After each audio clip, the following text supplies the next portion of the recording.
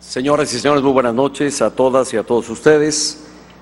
Señores presidentes de las mesas directivas de la Cámara de Diputados y del Senado de la República, señor ministro presidente de la Suprema Corte de Justicia de la Nación, señores integrantes del Gabinete del Gobierno de la República, señor jefe de Gobierno de la Ciudad de México, señores gobernadora, gobernadora y gobernadores de las diferentes entidades federativas que hoy aquí nos acompañan, señores magistrados presidentes de los Tribunales Superiores de Justicia de las diferentes entidades de nuestro país, señor presidente del Tribunal Superior de Justicia de la Ciudad de México. Muy distinguidos presidentes de organismos autónomos que están aquí hoy acompañándonos. Saludo con respeto a las y los legisladores federales que también están aquí presentes, a académicos, a estudiosos del derecho, a abogados, a estudiantes y de manera muy particular saludo con amplio reconocimiento a representantes de diferentes organizaciones de la sociedad civil que han trabajado durante estos ocho o quizá más años de forma incansable y comprometida porque realmente en México tuviéramos un nuevo sistema de justicia penal. Mi más amplia felicitación y reconocimiento a su esfuerzo y a su tenaz entrega en favor de este propósito.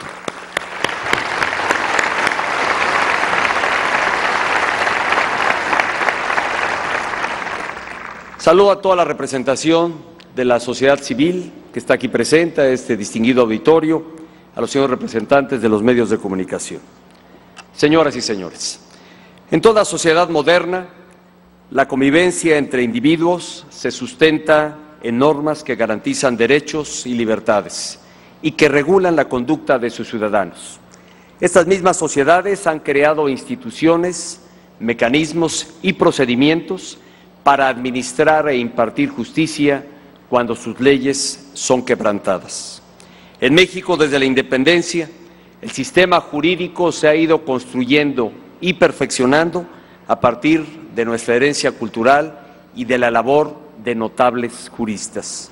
Me refiero a hombres de leyes de la talla de Manuel Crescencio Rejón y Mariano Otero, creadores del juicio de amparo, de José María Iglesias e Ignacio Luis Vallarta, que robustecieron el Poder Judicial, así como de Luis Cabrera y José Natividad Macías, que tuvieron una influencia decisiva en la Constitución de 1917.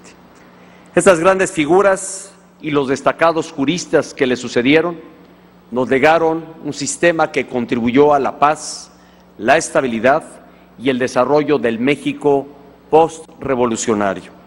Sin embargo, como aquí ya se ha expresado, con el paso del tiempo, el sistema de justicia penal mostró claros signos de agotamiento, de manera marcada ante un aumento de violencia e inseguridad que se registró en el país durante la primera década de este siglo. Fue entonces cuando la sociedad civil alzó su voz con vigor y ánimo de proporciones nunca antes vistas, para demandar y contribuir a un, a un cambio cualitativo en materia de justicia penal. Las voces de la ciudadanía nos mostraron que no podíamos superar los desafíos del siglo XXI con leyes, mecanismos y procedimientos del siglo pasado. Con espíritu constructivo, tenacidad y perseverancia, lograron que el Estado mexicano en su conjunto llevar a cabo un esfuerzo inédito de transformación institucional. Eso es precisamente lo que estamos celebrando este día. Este es un momento histórico para el país. Los mexicanos podemos y debemos sentirnos orgullosos por haber hecho realidad la transformación jurídica más trascendente de los últimos 100 años.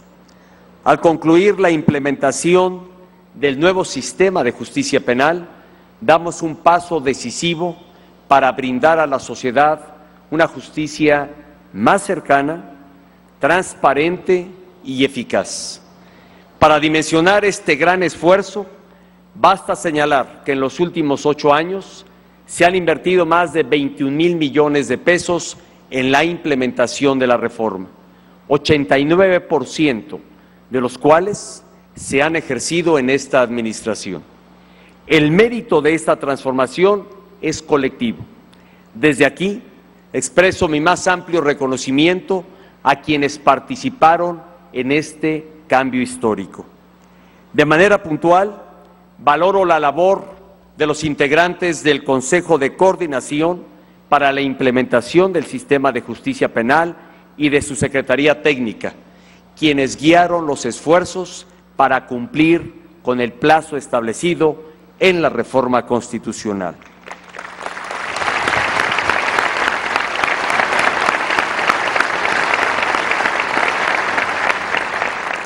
A nivel local, a la gobernadora y los gobernadores, así como al jefe de gobierno de la Ciudad de México, quienes impulsaron decididamente este proceso.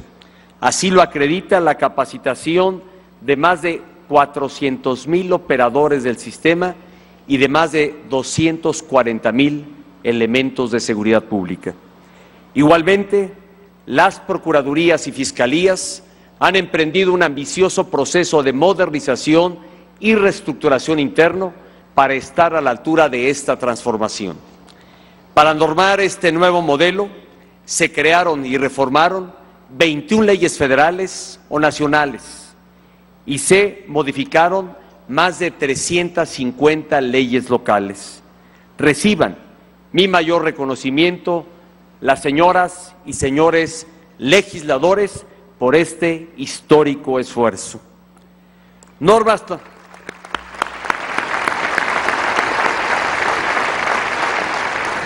tan relevantes como el Código Nacional de Procedimientos Penales y la Ley Nacional de Mecanismos Alternativos de Solución de Controversias en materia penal complementan el sistema y permiten una justicia más confiable.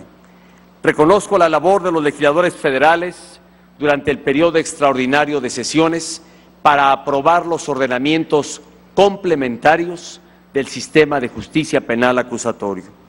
También vale la pena destacar que este nuevo modelo aplica para la justicia militar. A partir de la reforma al Código Militar de Procedimientos Penales y las nuevas salas de justicia oral que se crearon. Su actualización reafirma el compromiso de nuestras Fuerzas Armadas con el debido proceso y el respeto a los derechos humanos. También es encomiable la labor de los integrantes del Poder Judicial, tanto de la Federación como a nivel local, para renovar y actualizar su infraestructura y para seleccionar y capacitar a los magistrados, jueces, secretarios y actuarios que impartirán justicia. Durante la etapa de implementación contamos con el apoyo de varios países amigos que nos compartieron generosamente sus experiencias de manera destacada, debo señalar, las de Canadá y Estados Unidos. En este esfuerzo nacional ha quedado acreditado que los cambios estructurales que requiere México solo pueden concretarse con una auténtica visión de Estado, yendo más allá de diferencias políticas, calendarios electorales y periodos de gobierno. Desde el principio teníamos claro que cumplir con el plazo de implementación era una meta fundamental y emblemática, pero era solo la primera. El sistema de justicia es un sistema vivo, en constante transformación y evolución en la fase de consolidación que hoy inicia, requeriremos igualmente de la voluntad, el compromiso y el trabajo del Estado mexicano en su conjunto.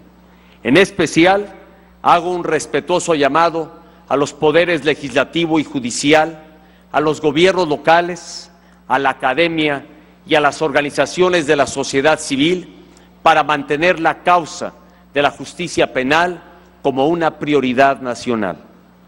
Para que el nuevo modelo funcione y funcione bien, es indispensable contar con mecanismos efectivos de evaluación y monitoreo.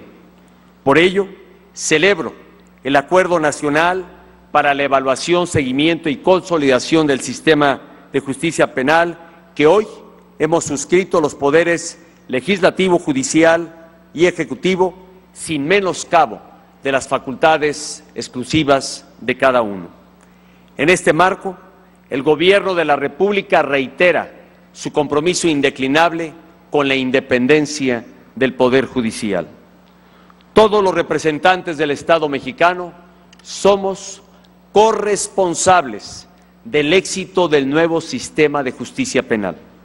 Solo con un proceso continuo de aprendizaje y mejora podremos corregir las fallas y superar los desafíos que seguramente habremos de enfrentar. En el Gobierno de la República tenemos la determinación de ajustar donde haya que hacerlo y de cambiar lo que sea necesario para que nuestras instituciones de seguridad y de procuración de justicia estén acordes con esta transformación.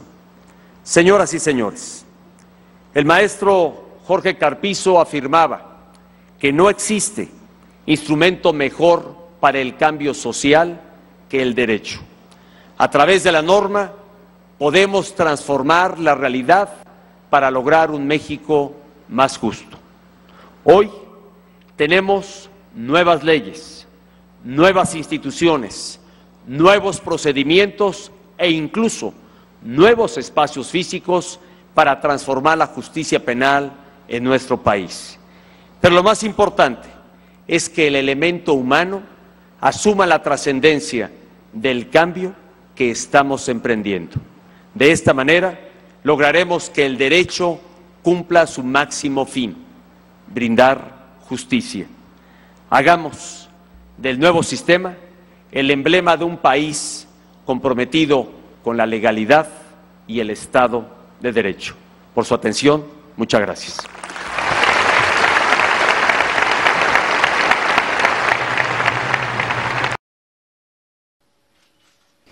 Te invitamos a seguir cuestionando la información con los siguientes videos.